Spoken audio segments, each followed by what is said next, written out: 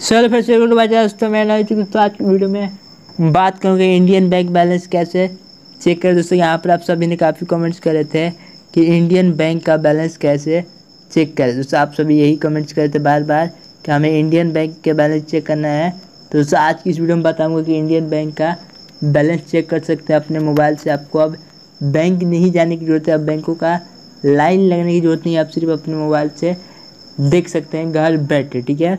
पहले क्या था कि आपको लाइन में लगनी पड़ती थी पासबुक, अपडेट करवाओ, ये, वो तो आपको। अब वो सब नहीं करना है सिर्फ़ और सिर्फ़ घर बैठे ऑनलाइन मोबाइल से चेक कर सकते हैं। तो चलिए वीडियो शुरू करते हैं और आपको हम बताते हैं कैसे कर सकते हैं। दूसरा अभी तक मैं जाए सब्सक्राइब नहीं किया तो प्लीज़ वीडियो के नीचे रेड कलर का सब्सक्राइब बटन होगा। प्लीज़ उसे टच कर दीजिएगा बराबर मैक नोटिफिकेशन बेल यानी एक घंटे के निशान उसे टच करके। ऑल पे ऑल पे प्रेस कर दीजिएगा। इससे क्या होगा कि फ्यूचर में जो भी वीडियो डालूँगा, उसका नोटिफिकेशन मिलेगा सब्सक्राइब करें तो घंटी को जुड़ जाए ऑल पे सेट कर दे। तो उसके लिए आपको चलना पड़ेगा प्ले स्टोर में, ठीक है?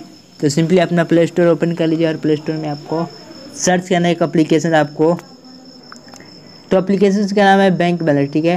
तो सिंपली आपको बैंक बैलेंस सर्च करने करने के बाद आपको अप्लीकेशन मिलेगा, जो कि अप्लीकेशन का नाम है ऑल बैंक बैलेंस चेक ठीक है?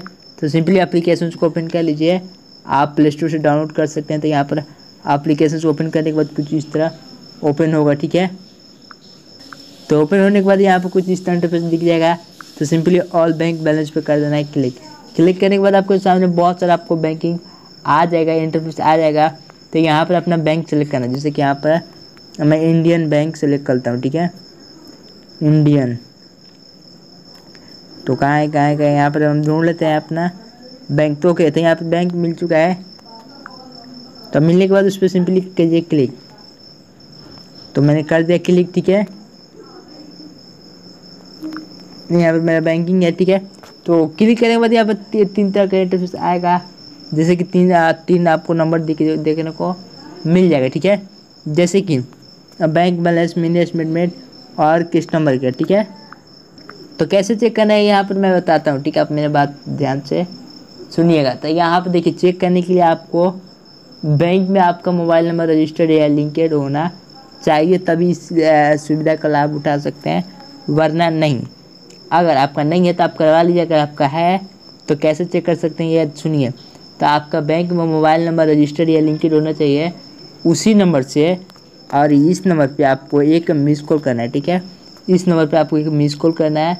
आप जैसे एक मिस कॉल करेंगे तो कॉल करेंगे तो आपका कॉल कट जाएगा ऑटोमेटिक और एक मिस कॉल चला जाएगा उधर से, इसमें से आपको प्राप्त होगा जो कि आपका बैंक बैलेंस होगा, ठीक है? तो जिस नंबर जो आपको मोबाइल नंबर लिंक है बैंक में, उसी नंबर मोबाइल नंबर से इस नंबर पर कॉल करना। चलिए मैं एक मिस कॉल करके आपको लाइव प्रूफ दिखाता हूँ।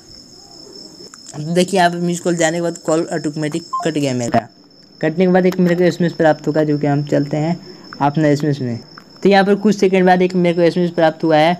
जो कि लिखा है dear customer the bank balance इतना आपका फॉर अकाउंट नंबर आपका लास्ट का अकाउंट नंबर इतना है आपको फोर फोर डिजिट का। और यहाँ पर देखिए लिखा है एन आर मतलब इंडिया यहाँ पे एन आर लिखा है इंडिया करेंसी आपका इतना बैलेंस है जो कि आपका बैंक में है।